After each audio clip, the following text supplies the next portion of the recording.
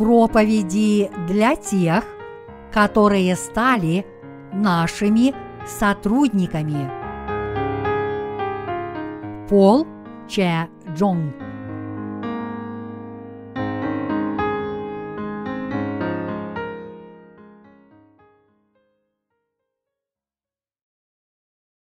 Благословенны те, кто делятся хлебом жизни в эти последние времена.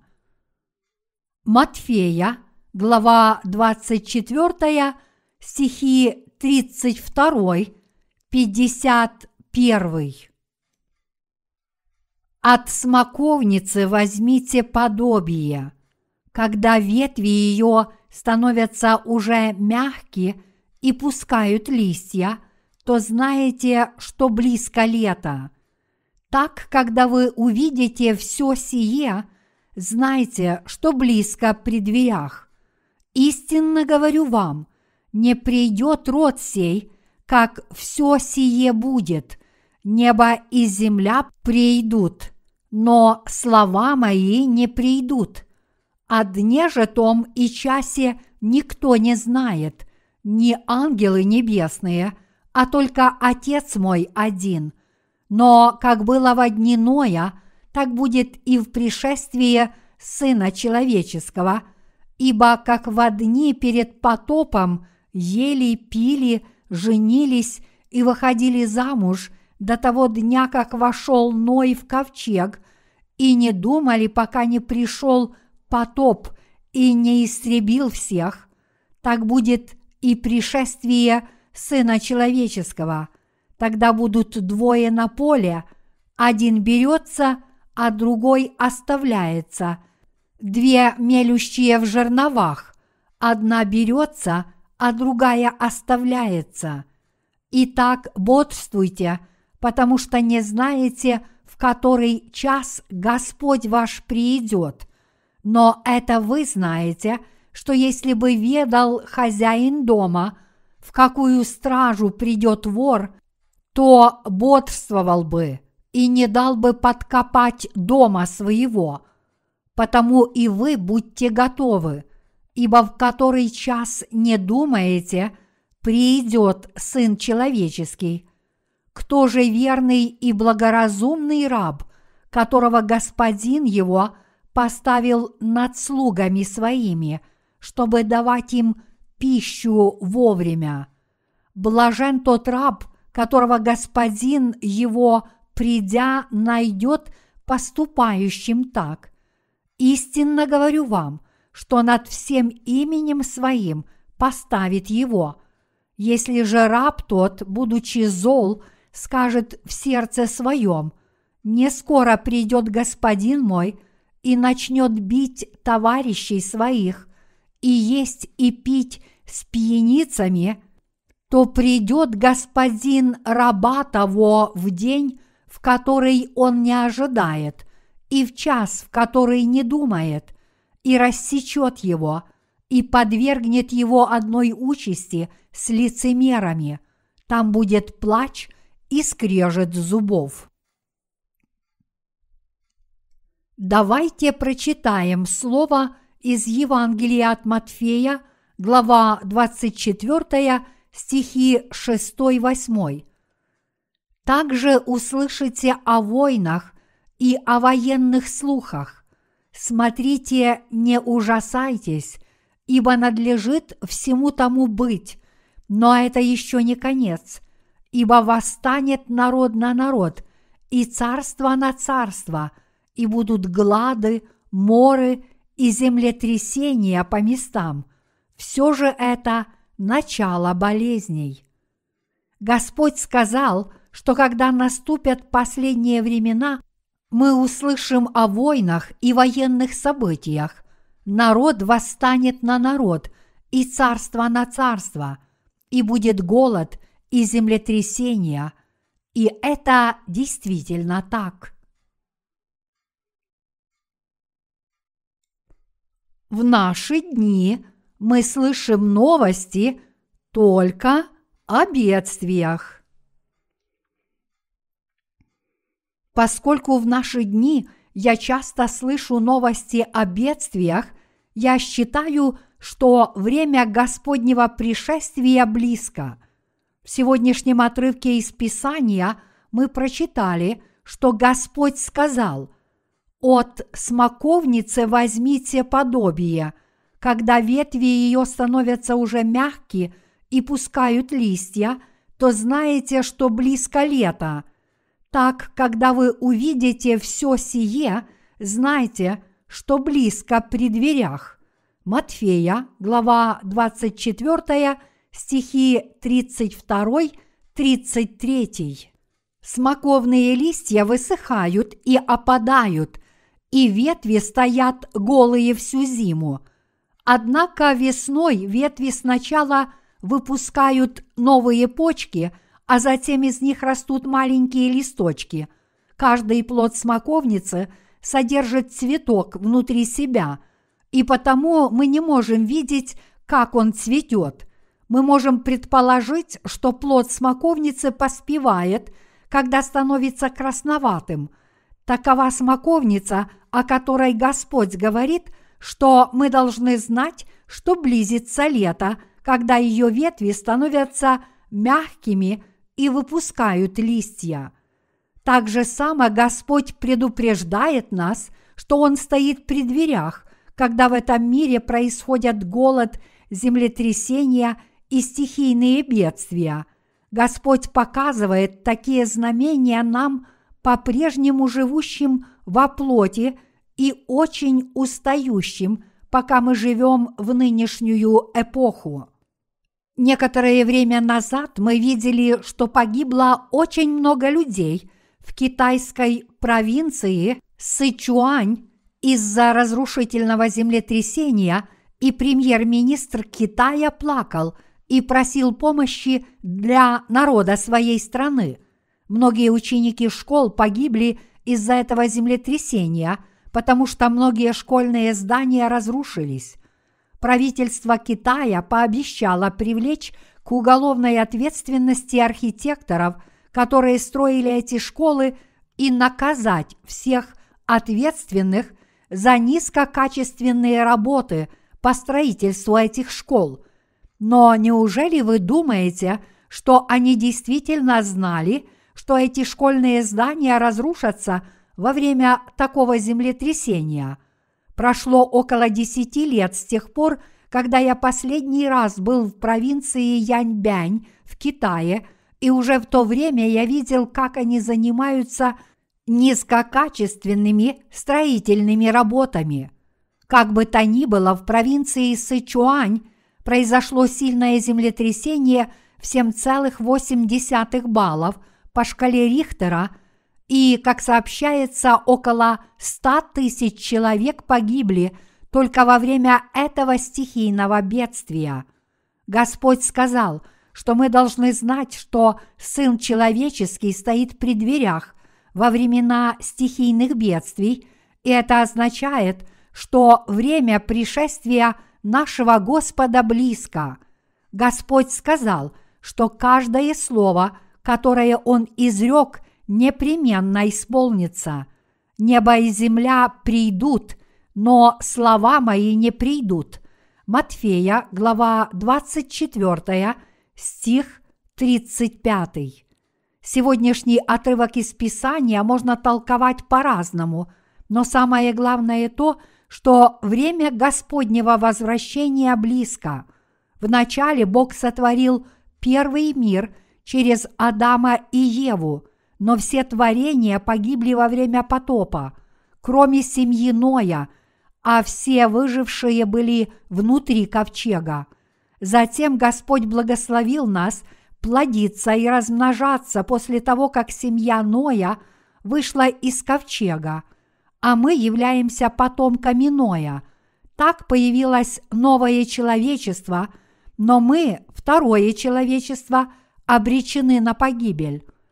Подобно тому, как исчезло первое человечество, второе человечество вот-вот погибнет, а третье человечество появится на сцене нового мира.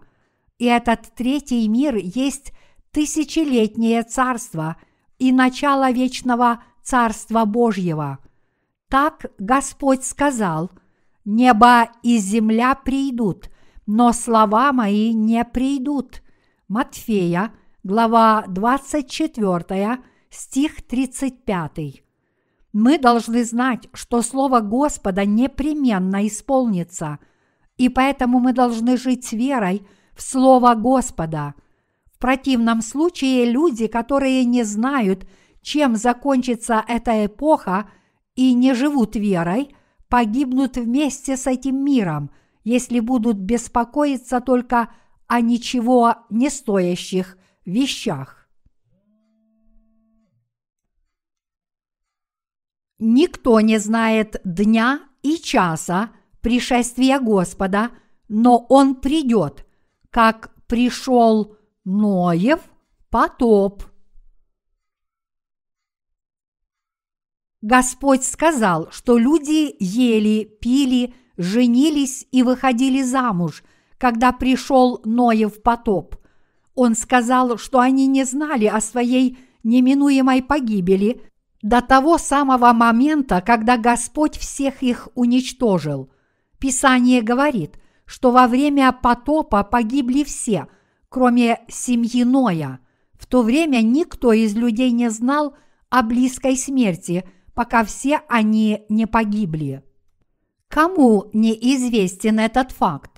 Все христиане нашего времени об этом знают, но несмотря на это, их не волнует, что время пришествия Господа близко, подобно тому, как люди во времена Ноя не задумывались о неминуемой погибели, о которой их предупреждал Ной мы должны знать, что пришествие Господа близко.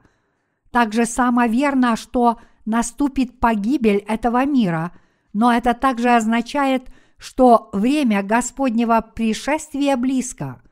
Что сделает наш Господь, когда придет в этот мир во второй раз? Господь сделает так, чтобы все люди, которые получили спасение от всех своих грехов, жили в новом мире вместе с Ним – и Господь придет, чтобы осудить грешников, которые не верят в Его правду. Мы должны знать, что приближается время Господнего пришествия и бодрствовать. Наш Господь научил нас, проповедников и святых, о своем втором пришествии.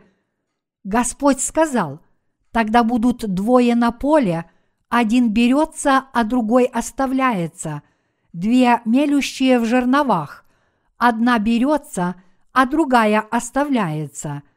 Итак, бодрствуйте, потому что не знаете, в который час Господь ваш приидет. Но это вы знаете, что если бы ведал хозяин дома, в какую стражу придет вор, то бодрствовал бы и не дал бы подкопать дома своего. Матфея, глава 24, стихи 40, 43. Время Господнего пришествия явно приближается, поэтому те, кто говорят, что они не знают, когда придет Господь, должны бодрствовать и верить в Его Слово. Господь придет в этот мир, чтобы одних забрать, а других оставить. Эти два человека в Библии – означают две категории проповедников. Все проповедники считают, что они делают дело Божье в этом мире. Все проповедники проповедуют людям евангельское слово, а когда Господь действительно вернется в этот мир, один будет взят, а другой оставлен. Будет ли человек взят Богом, зависит от того, верит ли он в правду Божью – все они делают дело Божье, но это будет решено на основании того, признаны ли они в глазах Господа. На этом основании будет решено, будет ли человек взят Господом или же оставлен. Даже среди проповедников одни будут взяты Господом, а другие оставлены. Это означает, что конечный итог нашей веры подведет Господь. Будем ли мы взяты Господом, зависит от Господних мерок, а не от наших.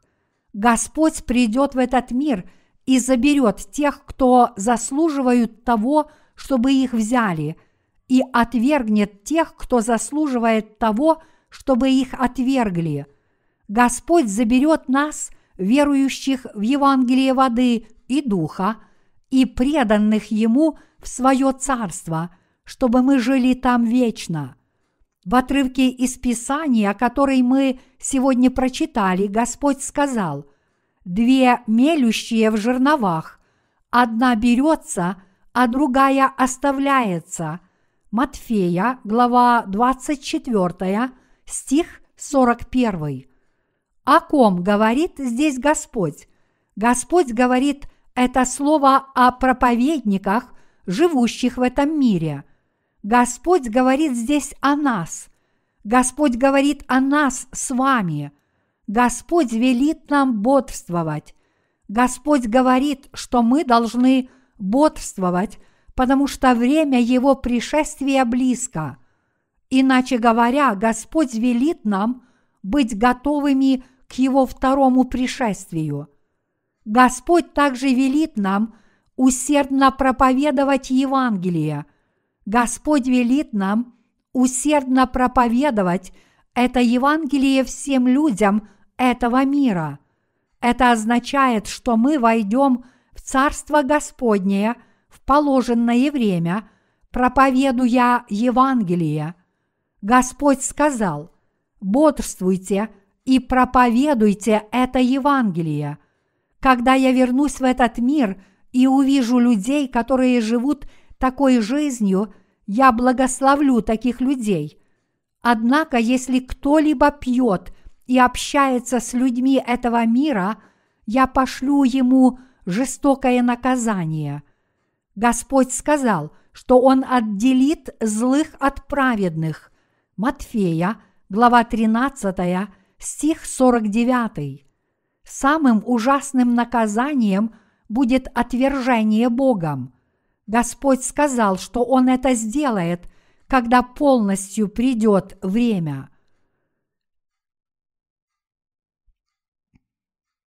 Мы теперь проповедуем Евангелие воды и духа по всему миру. Теперь Господь заранее рассказывает нам о том, что Он сделает, когда придет в будущем. Господь дает нам знать, что когда по всему миру будут происходить бедствия, это значит, что Сын Человеческий при дверях. Однако Господь говорит, о дне же том и часе никто не знает, ни ангелы небесные, а только Отец мой один.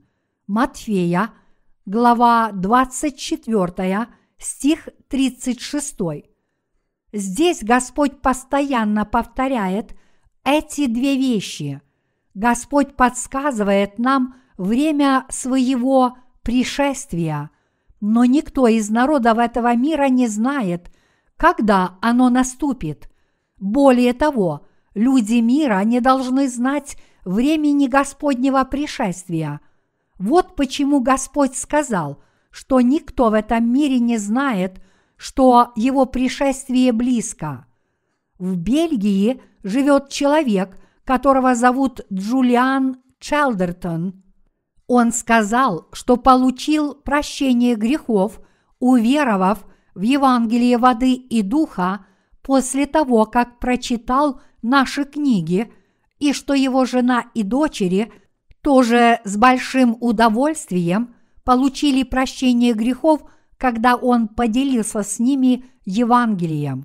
Мы планируем назначить его одним из проповедников нашей миссии и поручить ему дело проповедования Евангелия в его родной стране Сент-Китс и Невис, Вест-Индии – Братья и сестры в Корее и их сотрудники за рубежом проповедуют это Евангелие воды и духа по всему миру перед лицом Бога в качестве проповедников Евангелия. В Матфея, глава 24, стихи 45-46, Господь сказал, «Кто же верный и благоразумный раб, которого господин его поставил над слугами своими, чтобы давать им пищу вовремя? Блажен тот раб, которого господин его, придя, найдет поступающим так. Это означает, что благословенны все те люди, которые заботятся о людях Божьих и вовремя дают им духовную пищу. Но кто вовремя дает духовную пищу людям, созданным по образу и подобию Божьему? Это те, кто проповедуют истину Господа до времени Его пришествия. Те, кто проповедуют о хлебе Божьем по всему миру, являются благословенными людьми. Наши сотрудники, братья и сестры, трудятся в качестве декоративных чашечек золотого светильника, чтобы поделиться Евангелием, духовным хлебом Божьим. Мы постоянно занимаемся делом Божьим, но одни люди принимают это Евангелие, а другие нет. Бог заберет тех, кто принимает Евангелие воды и духа в свои сердца, однако неверующие в это Евангелие не будут взяты, но оставлены. Мы теперь проповедуем Евангелие, когда пришествие Господа близко. Поэтому я действительно хочу, чтобы мы стали людьми, которые раздают духовную пищу вовремя. Благодаря нам очень многие люди по всему миру сейчас получают прощение грехов. Однако многие люди и восстают против нас. Но ясно одно – пришествие Господа близко. Во время Ноева потопа люди только и делали, что женились и занимались другими плотскими делами этого мира, пока мир не был уничтожен потопом. В то время проливной дождь шел в течение сорока дней, но до самого начала потопа люди ели и пили и никогда не задумывались о своей погибели. Только Ной и его семья услышали Слово Божье о грядущей погибели этого мира и построили ковчег. Кроме семьи Ноя, никто об этом не задумывался. Люди думали, ну и что, что идет такой сильный дождь? Как он может затопить всю землю, если она так обширна? Какой бы ни был сильный дождь, мы не думаем, что погибнут все люди. Мы только должны убедиться в надежной работе канализационной сети. И если вода пойдет через верх канализационных систем, нам только нужно будет залезть на крышу. А если вода поднимется выше крыши, нам только нужно будет подняться на вершины гор. А если вода затопит вершины гор, нам только нужно будет подняться на еще более высокие горы. Они думали, каким бы сильным ни был дождь, мы сомневаемся, что будет затоплен весь мир. В дни Ноя, наверное, не было таких высоких гор, как Эверест в горных хребтах Гималаев. Высокие горы этого мира сформировались вследствие структурных изменений Земли.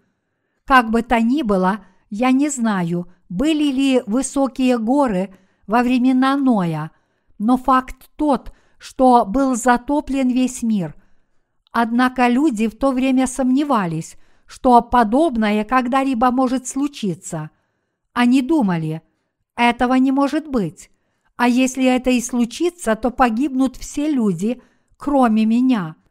У них были об этом туманные представления, но это действительно произошло. А что думают люди в нынешнюю эпоху – по сравнению с людьми в дни Ноя. Они думают то же самое. эта погибель действительно наступит неожиданно. Когда? Разве это время не приблизилось? Мы не должны спорить по поводу того, приблизилось это время или нет. Так же само нет смысла даже проводить различия между христианскими деноминациями. Зачем впадать в сектанство? Независимо от того, к какой деноминации вы принадлежите, вы погибнете, если в вашем сердце есть грехи. И поэтому единственное, что вы должны сделать, это подготовить свое сердце к истинной вере в Евангелие воды и духа, когда вы с ним ознакомитесь и получите прощение своих грехов. И вы тоже должны быть воспитаны – как человек веры в Евангелие воды и духа, хранить эту драгоценную веру в своем сердце и встретить Господа, когда Он вернется. Таким образом, мы достигнем своей цели, когда нас заберет Господь. Если нам нужно сделать только это, зачем нам сейчас проводить различия между деноминациями – Зачем нам бороться с различными сектами в христианских сообществах в эти последние времена? Люди готовят себе только плотские вещи, как будто они собираются жить в этом мире тысячи лет, потому что они не знают воли Божьей. Но они погибнут, если будут так жить. Не только у неверующих людей – но и у всех верующих христиан нет времени на то, чтобы обо всем этом поразмышлять из-за их занятости мирскими делами. Человек должен быть готов уверовать в Евангелие воды и духа теперь, когда он слышит, как кто-то его проповедует или же читает о нем в одной из наших книг. Ныне все грешники должны быть готовы ко второму пришествию Господа. Они должны быть готовы встретить Господа и войти в Его Царство. Вот почему мы, рожденные свыше, должны теперь проповедовать это Евангелие воды и духа всем людям по всему миру. Мы должны поделиться этим хлебом жизни, который дает вечную жизнь всем людям. Что же такое хлеб жизни для каждой души? Это Слово Божье.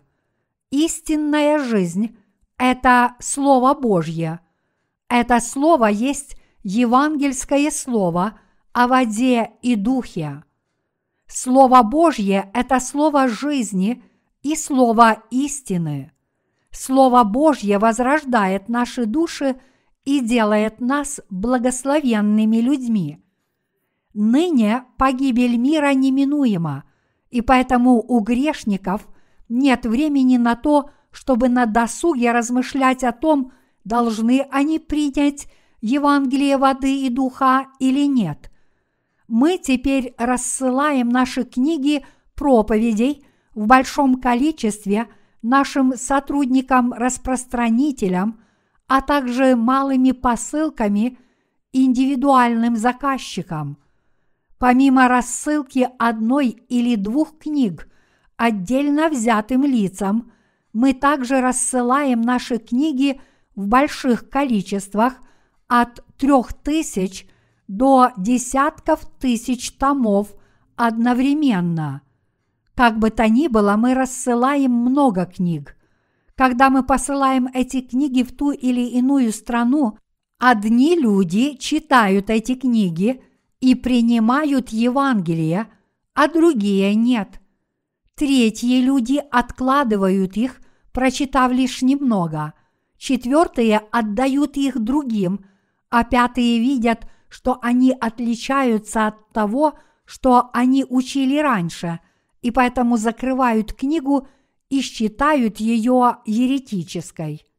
Но могут ли они себе это позволить в своем трудном положении? Они не могут себе этого позволить, потому что они находятся в отчаянной ситуации. Они не могут себе позволить отвергнуть Евангелие Божье, коль скоро они являются орешниками, которые стоят на краю гибели за свои грехи. Тогда как же они могут спастись от своей неминуемой погибели, если они настолько упрямы? Они должны с благодарностью и как можно скорее принять это Евангелие воды и духа. Вы тоже должны быть благодарны Богу, ведь Он хочет спасти вас от всех ваших грехов.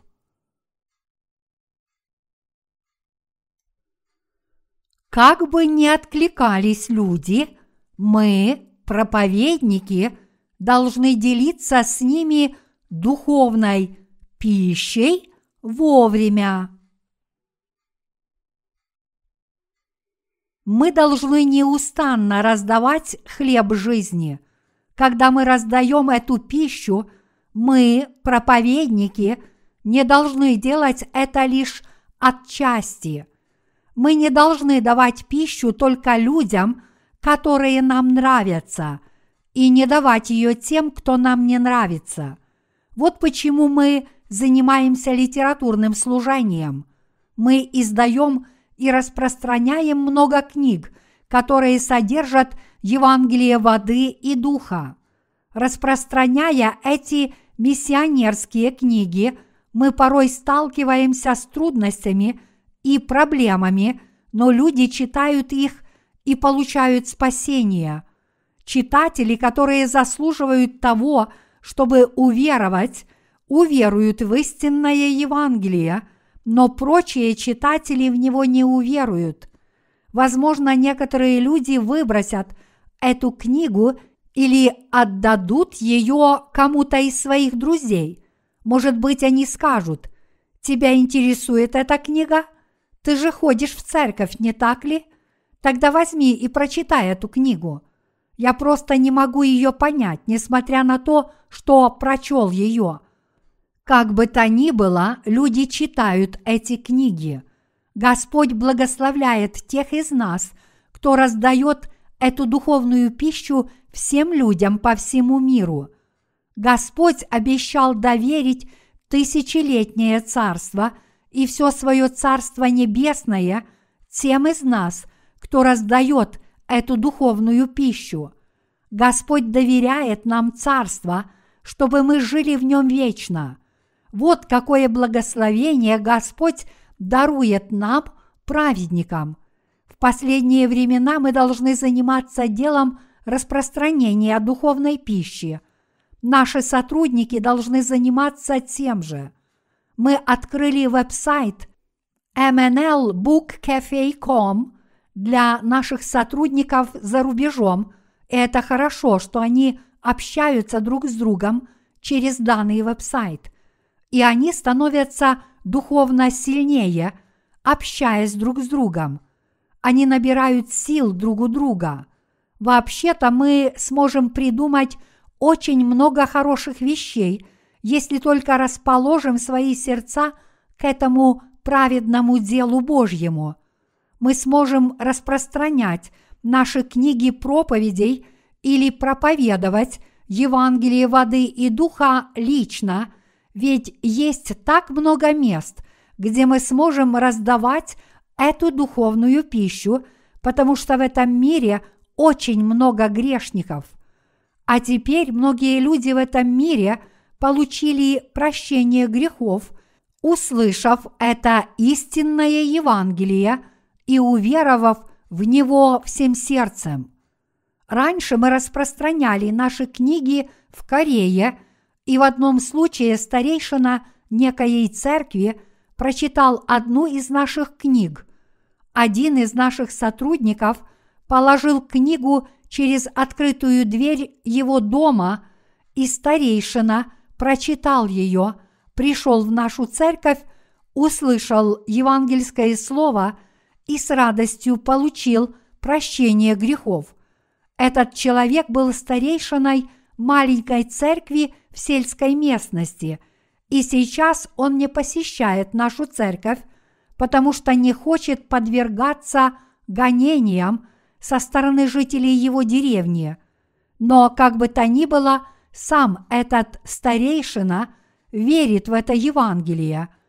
А сохранит ли он это Евангелие в будущем, мы должны предоставить это дело Господу. Мы просто должны распространять наши евангельские книги, и через них многие люди получат прощение грехов. В любом случае мы должны знать, что мы должны много сделать в нынешнюю эпоху. Мы ходили и проповедовали людям в больницах, на улицах, в школах и во многих других местах, и многие люди действительно получили прощение грехов. Многие люди получают прощение грехов, когда мы распространяем наши книги и проповедуем это истинное Евангелие. Господу угодны все те из нас, кто занимается этими делами. Как нам жить в эти последние времена?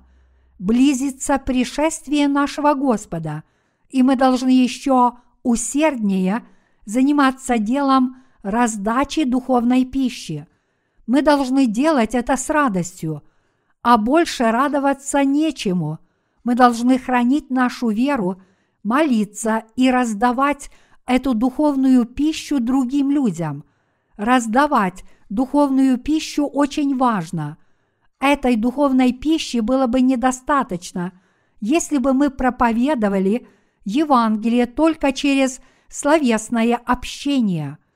Однако, если мы будем раздавать эту духовную евангельскую пищу через литературное служение, мы сможем спасти очень многих людей во многих странах за короткое время, потому что еще больше людей, которые живут слишком далеко от нас, смогут прочитать наши книги и получить прощение грехов. И тогда многие люди смогут вырасти духовно и стать служителями Божьими, подобно нам, и тоже заниматься делом раздачи духовной пищи и угодить Богу. В это время скорбей, когда пришествие Господа близко, мы должны заниматься делом раздачи этой духовной пищи. Наши сотрудники за рубежом тоже должны делать это доброе дело. Так же самое и наши сотрудники в Корее.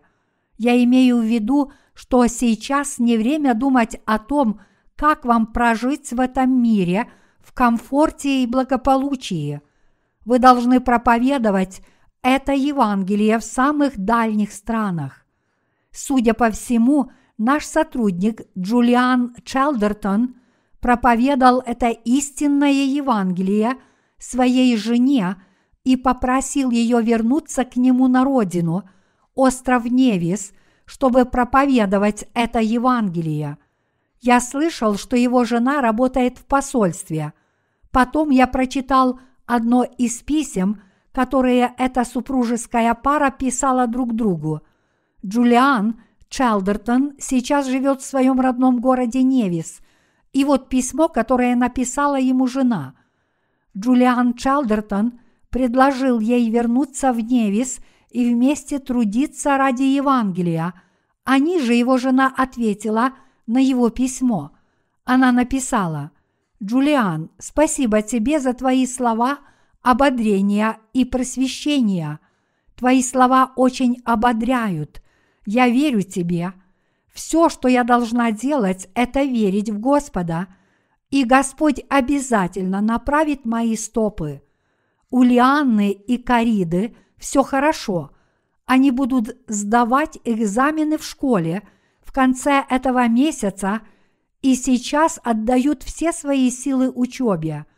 Этот сотрудник написал письмо своей жене, в котором попросил ее вернуться в свой родной город с двумя дочерями и трудиться ради Евангелия вместе, а его жена дала ему такой ответ. «Я считаю, что его жена замечательная женщина. Как было бы хорошо, если бы жены положительно откликались с таким же сердцем, когда мужья проповедуют им Евангелие. жена поблагодарила своего мужа Джулиана за его слова ободрения и просвещения.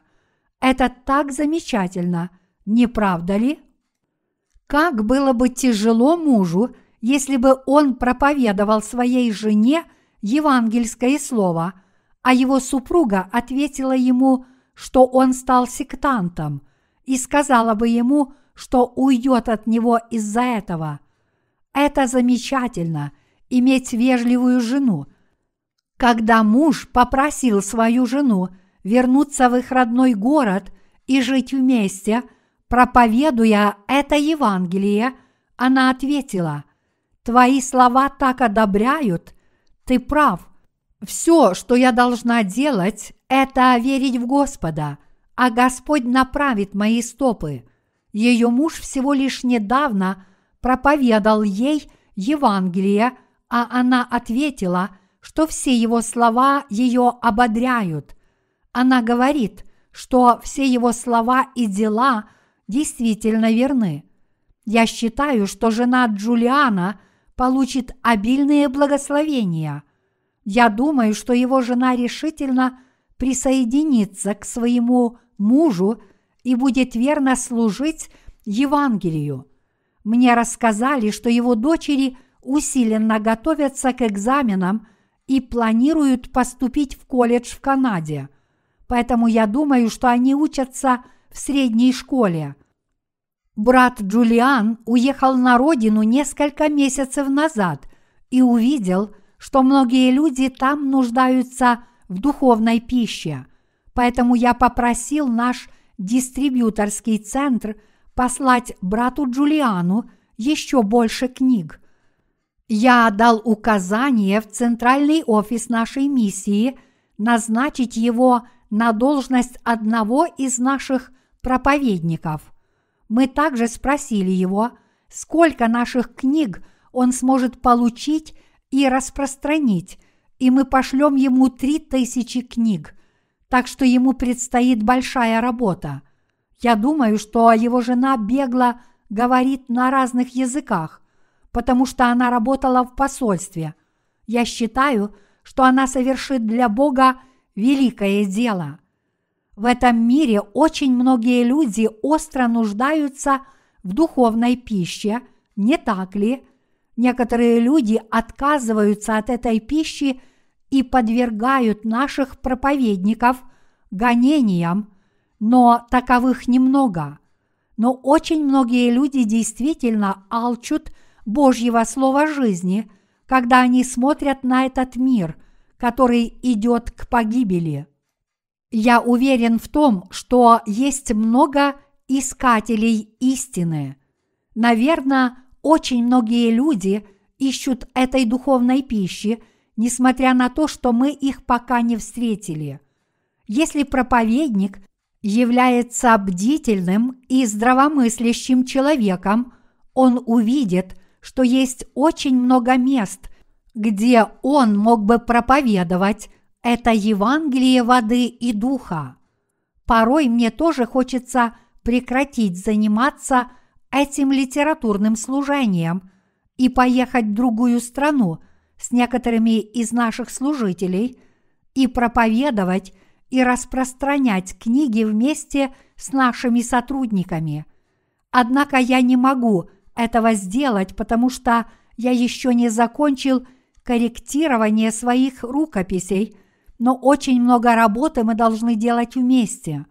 Мы получим благословение от Бога за это дело, которым мы занимаемся – и Он заберет нас за эту нашу преданность. Мы будем взяты Господом в новое царство, которое Он для нас приготовил.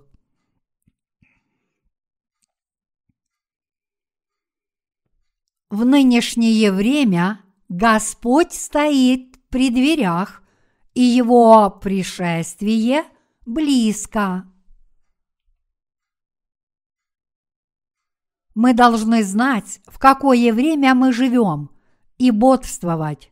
Следовательно, мы должны точно знать, что ныне пора щедро раздавать духовную пищу.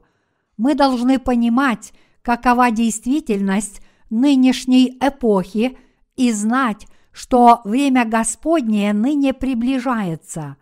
Мы должны услышать людей, плачущих и скорбящих в Китае, потому что у них произошло разрушительное землетрясение. Также и в Мянме погибло около ста тысяч человек вследствие циклона Наргис. Но неужели вы считаете, что такого же плача не будет и в Корее? Это правда, что Бог хранит Корею по своему особому проведению. Это правда, что Бог хранит нашу страну, потому что мы, праведники, занимаемся делом раздачи духовной пищи по всему миру. Однако нет никакой гарантии, что такие масштабные стихийные бедствия, которые произошли в Китае и Мянме, не заденут Корею. Подобные стихийные бедствия будут происходить и в Корее, когда мы завершим проповедование Евангелия воды и духа по всему миру. Какой смысл плакать о десятках тысяч погибших людей? Все они погибли под развалинами. Вместо того, чтобы оплакивать их трагическую гибель, мы должны заранее готовиться к спасению. Мы должны быть готовы спасти свои семьи. Какой смысл плакать после того, как члены нашей семьи погибнут? Вместо этого мы должны быть заранее готовы их спасти, а уже потом проливать слезы, когда они действительно умрут. Конечно, мы будем плакать от печали, но мы должны знать заранее, что все мы когда-нибудь умрем.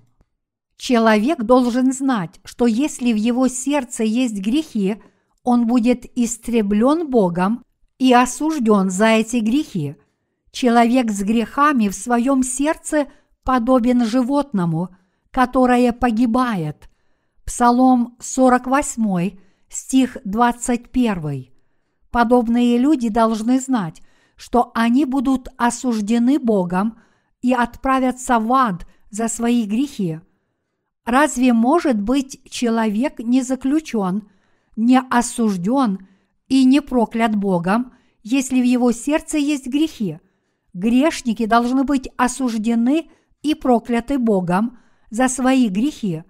Вы должны знать эту истину, коль скоро вы живете в этом мире.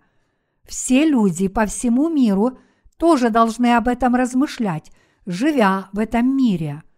Люди поступают глупо, если мечтают о благополучной и счастливой, но краткой жизни, тогда как им уготован ад потому что в их сердцах по-прежнему есть грехи.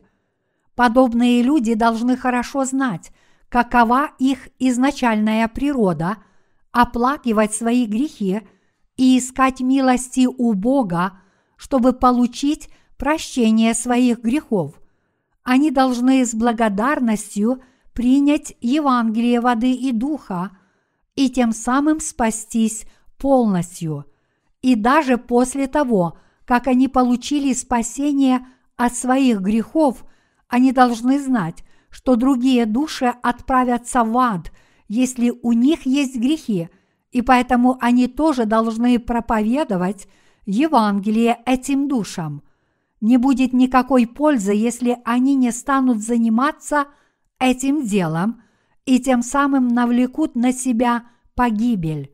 Я считаю, что человек, который хочет заниматься делом распространения Евангелия только после того, как наступит великая скорбь, является наибольшим глупцом.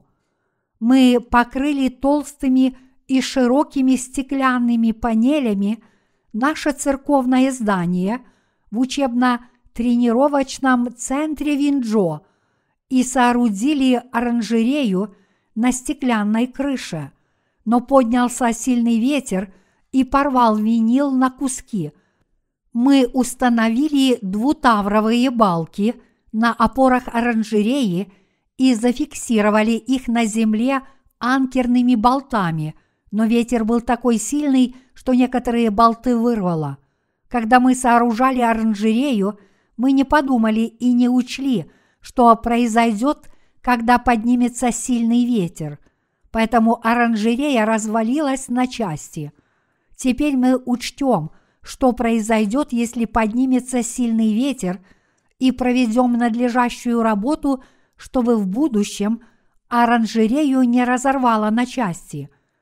Китайцам следовало бы знать, что эти здания разрушаются, если происходит землетрясение – так же само и мы должны подготовиться заранее, прежде чем не случится какая-нибудь трагедия. Что мы сможем сделать после того, как ужасное стихийное бедствие уже произошло? Мы должны готовиться к бедствиям, прежде чем они действительно произойдут, и заранее проповедовать Евангелие воды и духа как звали бывшего мужа диаконисы Сун Окпак в Японии. Его звали Сакамото, и однажды, когда он был в Корее, он поднялся на холмы Мисирюнг, окружающие гору Сарак. Гуляя по этим холмам, он увидел очень много камней на косогоре у дороги. Ему казалось, что они катятся прямо на него – эти камни напугали Сакамото до смерти. Он очень испугался, потому что в Японии очень часто бывают землетрясения, и японцы не могут позволить, чтобы камни так нависали над дорогой. И вот он подумал, что камни скатятся вниз и раздавят его, если их оставили просто так. А что же корейцы – Корейцы даже не моргнут глазом, если камни будут свисать с горы у них над головой. Они подумают, ну пусть он себе катится. Это меня не волнует. Однако эти камни вселяли бы ужас, если бы произошло землетрясение. Мы должны сообщить людям и даже проповедникам в этом мире, что они отправятся в ад, если в их сердцах до сих пор – есть грехи, мы должны сообщить им эту истину и заранее раздать эту животворящую пищу. Если мы не знаем этой истины и внезапно наступит погибель, будет бессмысленно плакать и сокрушаться впоследствии. Будет слишком поздно. Пришествие Господа близко, и мы должны бодрствовать и проповедовать Евангелие воды и духа людям, которые идут в ад. Сейчас пришло время действовать. Мы должны об этом знать и бодрствовать. Сейчас мы готовимся к этому делу и выполняем эту работу очень успешно. Более того, мы должны продолжать это дело. Мы не должны рассиживаться и довольствоваться тем, что мы сделали до сих пор. Евангелие и Слово Божье – которое мы, праведники, сейчас проповедуем, это и есть хлеб жизни. Я очень расстраиваюсь, когда слушаю какие-либо христианские радиопрограммы в наши дни. Я думаю про себя, неужели то, что вы сейчас проповедуете, это Слово Божье? И неужели вы считаете, что слова, которые вы говорите – приносят грешникам жизнь. Разве вы не проповедуете свои слова и мысли и не хвастаетесь своим красноречием? Неужели вы понимаете тот отрывок из Писания, о котором вы сейчас проповедуете? Они ничего не знают и не будут меня слушать, если я поведаю им истину. Не все, что проповедуется – из Слова Божьего действительно является Словом Божьим. Слово Божье должно быть истинной духовной пищей для людей. Слово Божье должно быть хлебом жизни для его слушателей.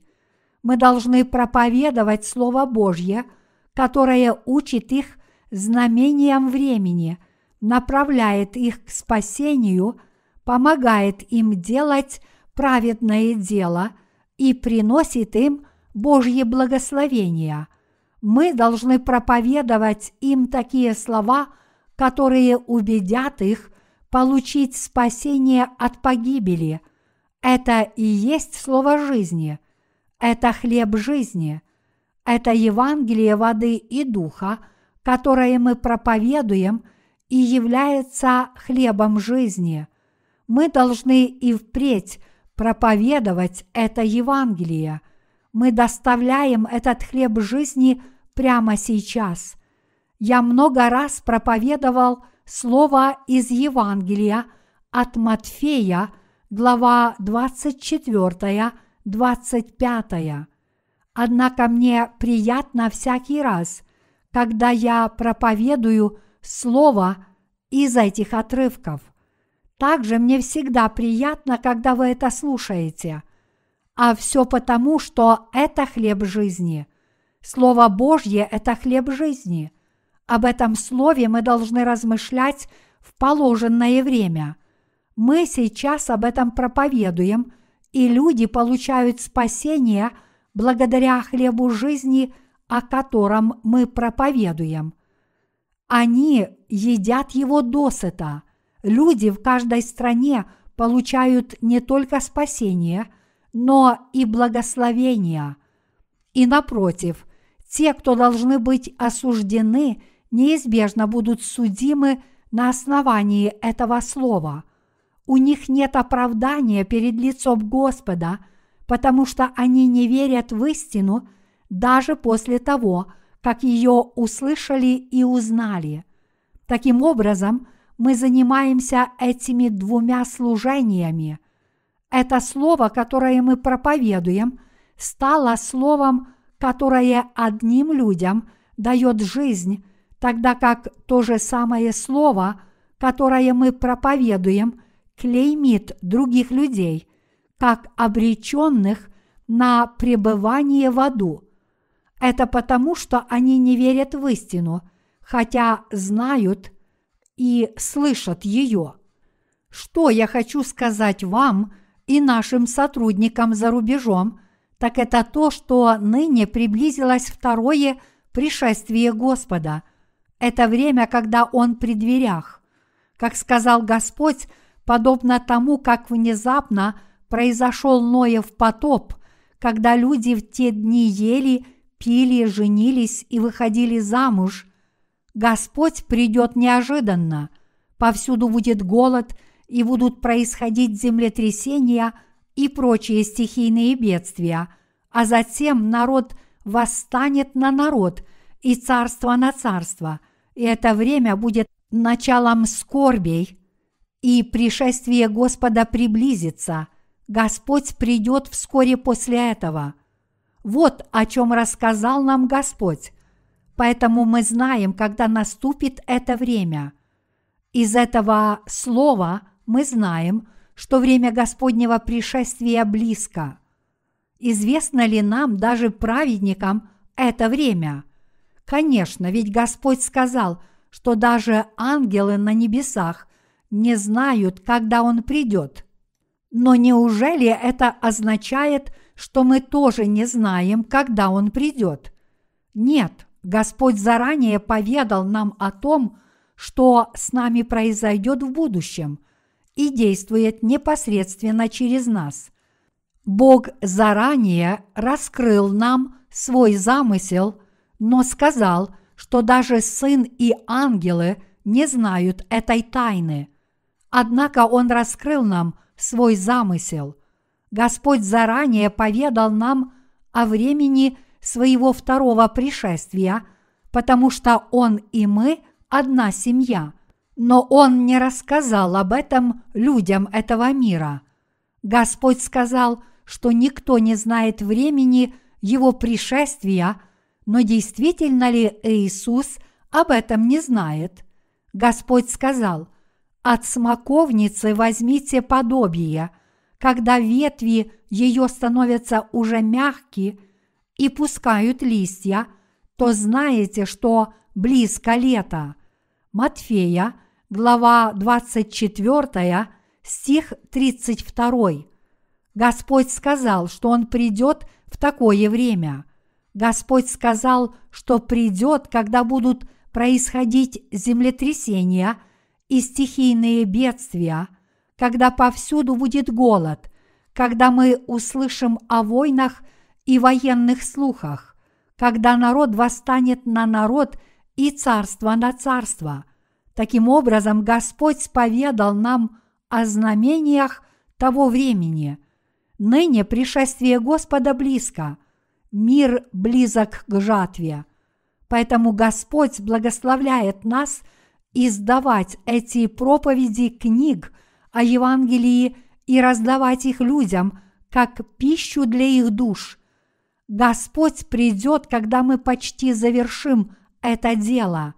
Господь заберет достойных, но оставит тех, кто этого заслуживают. Из двух женщин, которые будут молоть на мельнице и тяжело трудиться, чтобы заработать себе на жизнь, одна будет взята перед лицом Господа, но Господь даже не взглянет на другую женщину, которая будет оставлена. Среди нас не должно быть никого, кто будет так оставлен – вы никогда не будете оставлены, если вы верите в Евангелие воды и духа. И хотя у вас есть недостатки, вы просто должны присоединиться к церкви и служить Господу. Вы должны служить Господу там, где вы способны более всего, и тогда Господь вас примет. Однако Господь сказал, что накажет злых людей – которые не служат Господу, даже несмотря на то, что им очень хорошо известно, что они должны это делать. Вот почему мы с вами тоже служим Евангелию. Когда я впервые встретил Господа через это истинное евангельское слово, я понял, что в то время этого Евангелия невозможно было найти – нигде в мире. Поэтому, когда я встречался с людьми, которые утверждали, что действительно знают это Евангелие и проповедуют его, я попробовал с ними сотрудничать, даже несмотря на то, что некоторые из них были из так называемых евангельских церквей. Но в конце концов я понял, что они вообще не верят в это истинное Евангелие, поэтому я их оставил и теперь тружусь с вами. Когда мы начали путешествовать по интернету, чтобы найти верующих в Евангелие воды и духа, мы пришли к выводу, что во всем мире нет ни единого верующего в это истинное Евангелие. Верил ли кто-нибудь до сих пор в это истинное Евангелие самостоятельно, я говорю серьезно, кроме людей, которым мы проповедовали Евангелие воды и духа, есть ли какие-либо сведения из-за рубежа о том, что кто-то верит и проповедует то же самое Евангелие, что и мы. Таковых нет. Их нет даже среди богословов – Служители – это подчиненные, а богословы – это начальники. Служители учат и проповедуют то, чему их учат богословы. Наши сотрудники за рубежом должны знать о том, что пришествие Господа близко, и усердно трудиться, чтобы раздать еще больше духовной пищи. Они должны усердно трудиться – чтобы распространить наши евангельские книги. А распустится ли смоковница и получит ли человек спасение? Я хочу, чтобы вы доверили это Богу, решать Господу, и мы ничего не можем с этим поделать. Некоторые люди не верят в это Евангелие по-настоящему, хоть и исповедуют, что верят в него. А с другой стороны, Многие люди верят, что не имеют достаточных знаний об этом истинном Евангелии. Подобные люди неохотно свидетельствуют о своем спасении. А еще есть люди, которые верят в Евангелие воды и духа, но не знают, верят они в это Евангелие или нет, потому что услышанное ими раньше вносит большую сумятицу в их умы. Мы являемся людьми, которые сеют семя и поливают, а тот, кто делает растения плодоносными, это Господь. Господь убеждает людей получить спасение, помогает им расти, и именно Господь пожинает их и кладет их в свою житницу. Мы не являемся жнецами, мы проповедники, мы сеятели. Сеятели должны усердно сеять доброе семя, а Господь позаботится об остальном и пожнет плоды. Мы лишь должны раздавать людям духовную пищу, проповедовать Евангелие и молиться о Божьем деле, чтобы Господь мог пожать столько плодов, сколько угодно Ему. Давайте усердно трудиться в качестве служителей Божьих ради проповеди Евангелия.